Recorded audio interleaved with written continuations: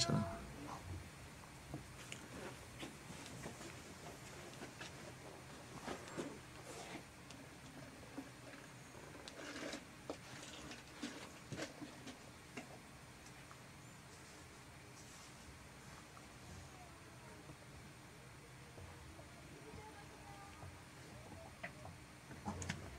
헬로 안녕하십니까 안녕하세요. 안녕하십니까 음, 어 안녕하세요 음. 켜 있어? 음. 놀아 놀아. 안녕 오빠야 오빠 응? 아 방금 김준현 씨가 소개해준 낚시터. 낚시하러 가게요? 아니 낚시 요즘 그렇게 나이 많은 사람들이 낚시터에서 그렇게 연애를 한다던데 나이 많은 사람들? 안녕하십니까 이건 엄청 큰데? 좌대가 뭐예요? 좌대라고 있어 유명한. 지혜야 좌대 갈래? 이러는데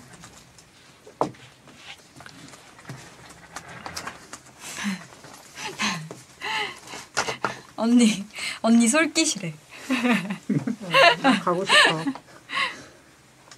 진짜?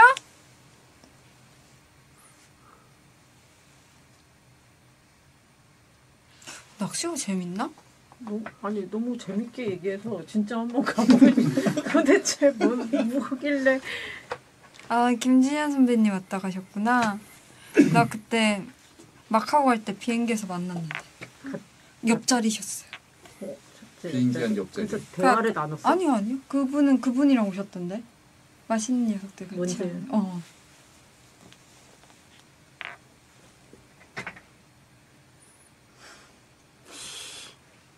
그거 있잖아 두 자리 두 자리씩 돼 있잖아요 비행기가 그 저희가 두 자리 중에 한 자리 여기 있고 바로 이 옆자리가 그래서 약간 빠지 같이 생겼는데 좌대가 다. 네. 어제처럼 띄워놓고 음. 그 위에서 호텔인 줄 알았어요 딱 보고 이거? 멀리서 보고 빠지잖아 빠지.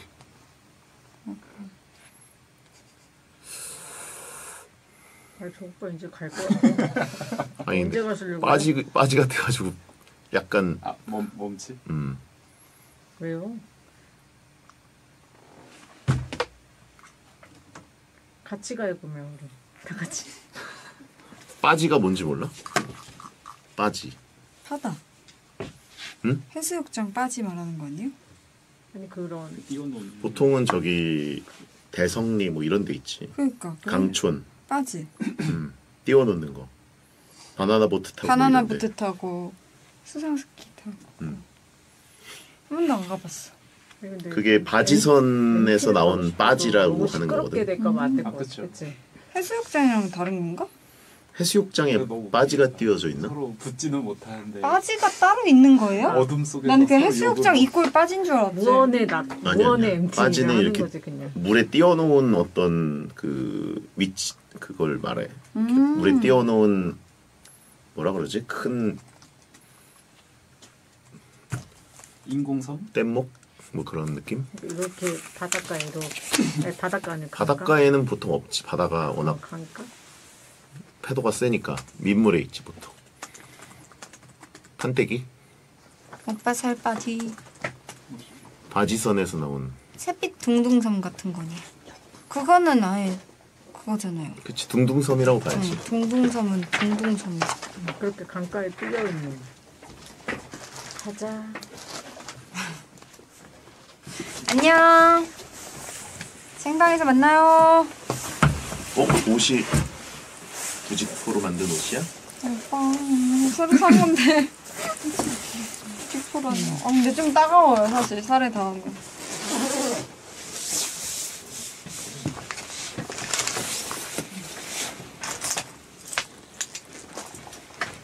갑시다. 아. 이따 봐요